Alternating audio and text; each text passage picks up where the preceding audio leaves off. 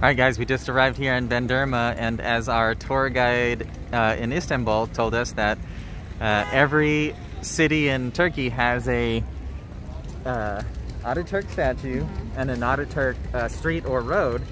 Uh, this is the, uh, I've been calling it different names, but what did we say? Edo? Edo.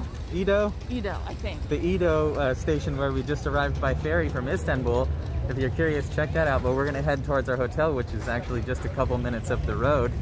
Uh, it seems like a pretty uh, short walk for us. I'm hoping I can just see it from here, but uh, we're gonna kind of head out, see if we can find a sidewalk and uh, safely navigate uh, the few minutes walk up to our hotel. As we just got to our hotel, it was actually only a like a two minute walk from the port, which was really awesome. Uh, the woman's just taking our passport information and uh, getting us checked in. I'm gonna make a, a video of the room uh, when we get up there, so if you're curious, check that out. But uh, yeah, it was really uh, awesome. If you plan to uh, take that ferry to here and then move on further, and you want to stay a couple nights, so far this hotel, at least the lobby, has been impressive, and this was one of the best reviewed hotels in the city here. So uh, it's a bit pricier, but we're gonna stay four nights before we move on to our next Airbnb, and uh, it should be worth it, I think. Well, we successfully navigated our way to our hotel after we took the ferry. We got all our stuff put away.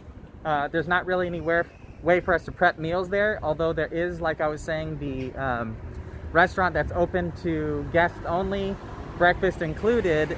Uh, I guess maybe I didn't mention that. That might have been in my other video for the room. But uh, the hotel includes breakfast and uh, and also there's a restaurant that's open for guests only and so we can get meals there which is great.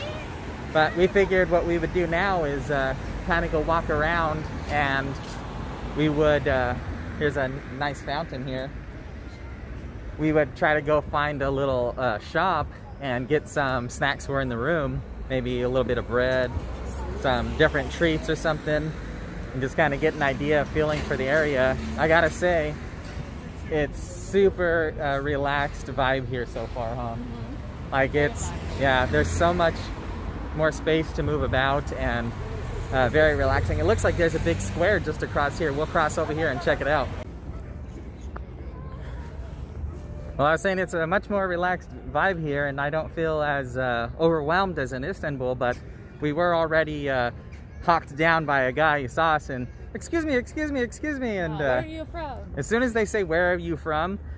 Like, I'm not trying to sound rude or anything. I, I understand that they're trying to grind and they're trying to make money, but it's just an introduction so that they can then say, come to my shop or come to my uh, carpet store. Right. This guy in particular was trying to sell perfume. Yeah. You want perfume, so uh, there's a time and a place where you have to you have to put your foot down. You have to tell them no, thank you. Um, please, I'm trying to go and and maybe just politely tell them, look, I, uh, I am not interested in what you're peddling, uh, but have a good day, you know. Because if you stop and if you engage with them, it's gonna be they're going to make it harder for you to walk away. They're going to, you know, start to get a little, well, my family, I need to feed my family and things of this nature. I digress on that, but uh, just be ready for that. Like, uh, here's an example.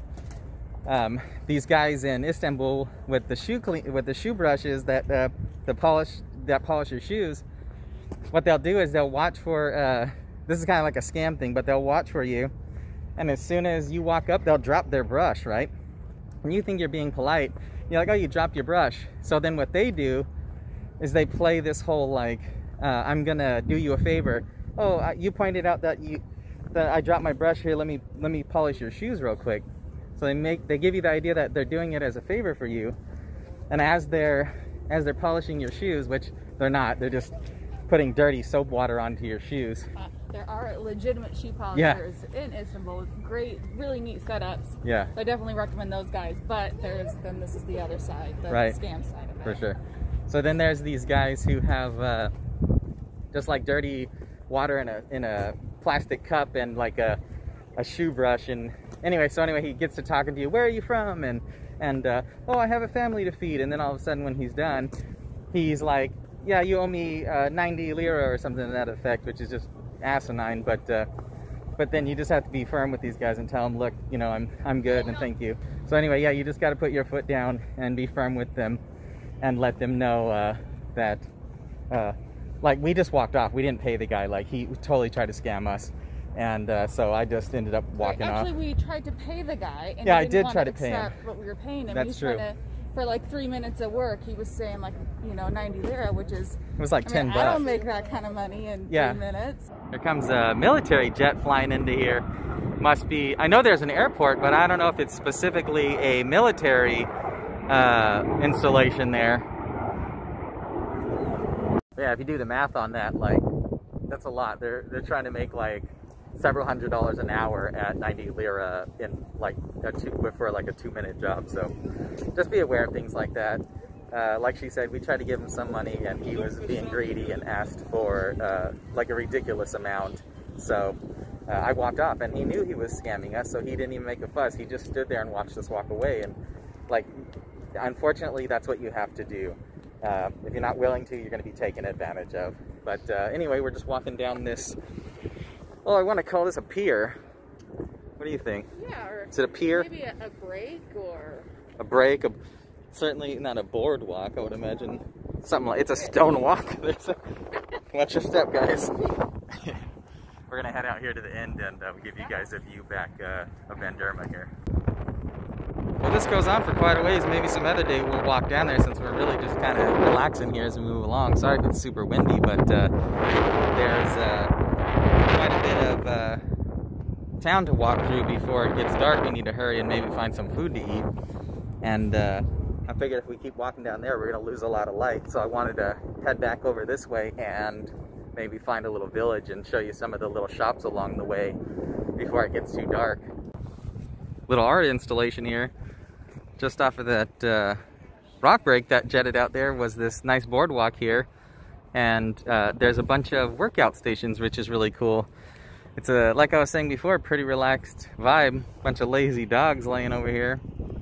Uh, we have been uh, stopped by one guy who uh, was trying to sell us cologne I think she mentioned but uh, a couple of young girls tried to stop us too and I was actually recording and walking and uh, and I wasn't really sure what she was trying to stop me for so we kind of just kept going. She might have just been a young lady trying to uh, communicate in English and practice her English with us. But so far, it hasn't. Uh, we, we, don't feel like we're being solicited, unwanted uh, too much, and uh, people don't seem to be too pushy.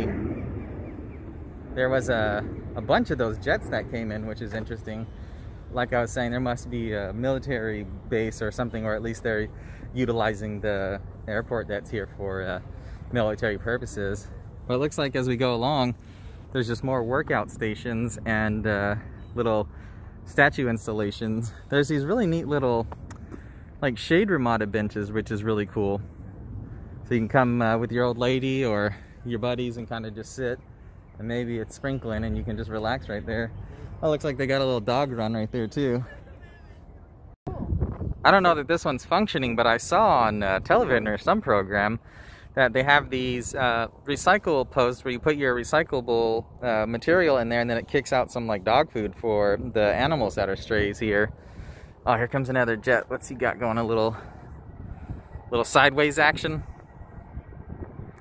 I saw another jet actually just, he was kind of zooming in and out of these buildings here. Wow, he's close down there. That airport must be close. There he goes neat uh, fortress type walls here but I thought this uh, reoccurring uh, pattern on the ground was really neat. This guy's like the dog wrangler over here trying to wrangle all these dogs up I believe. Maybe he's going to feed them well we haven't found our little market yet but we figured we'd come down this little uh, shopping plaza here and uh, check it out. Pretty relaxed. No one's uh, you know everyone's kind of just checking us out as we go by and there's no like high pressure to come into the stores, which I always appreciate. I mentioned before in one of my videos, I uh, have a bit of anxiety, so it's kind of hard for me to go out sometimes and I, I, get overwhelmed and to be able to just kind of walk along and do what I want to do without being uh, interrupted uh, is always very comforting for me. But uh, it's very nice here. Little street musician back there jamming out. I'm gonna see about uh, finding this little market so we can get some snacks and then uh, hopefully we can give you guys an idea of some of the prices when we get back to our rooms there. All right, we successfully found a little shop, got us some snacks, and just behind us is a little like kebab type shop. And I saw the prices weren't too terrible. We're gonna stop in there and grab some food, and before it gets too dark, uh, head back to our hotel room, give you an idea of how much we paid for our snacks and how much we paid for our meal. Quick view from our hotel here before my uh, phone dies. I did shoot a video of this hotel if you're curious, check that out. But uh, I was saying I wanted to cover the price of this stuff that we got. So we've got a 10 liter water, we've got some raisins and assorted mix. We figured we'd mix those together in one kind of have like a trail mix thing. We got some popcorn, we got a um, pack of plates, which also came with a couple napkins, a couple of silverware, and a couple cups. The reason we got those was because we got these uh, four cup noodles, which we have uh, the kettle here, and we'll boil the water, make cup noodles for uh, the evening. And also, um, this one goes out to my boy Chris. If you see these cookies, you have to get some because they are delicious. And so all of that stuff was 73 Turkish lira, and that was uh, roughly 950, I believe. And then we grabbed some hot food on the way back. So we got these, um, I think it's a beef um, uh, doner, as they call them. So those, I got a larger one, Rachel got a smaller one, and we also got some French fries. And that came out to 53 Turkish lira, which was, if I remember correctly, uh, roughly 650.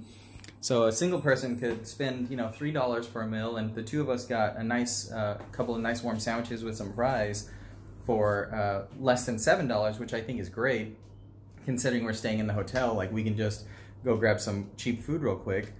And uh, yeah, so I just wanted to give you guys an idea of that. Thanks for coming along on our walk today. I'm gonna cut this off and uh, get it uploaded for you guys, and we're gonna relax in our first night here in the hotel.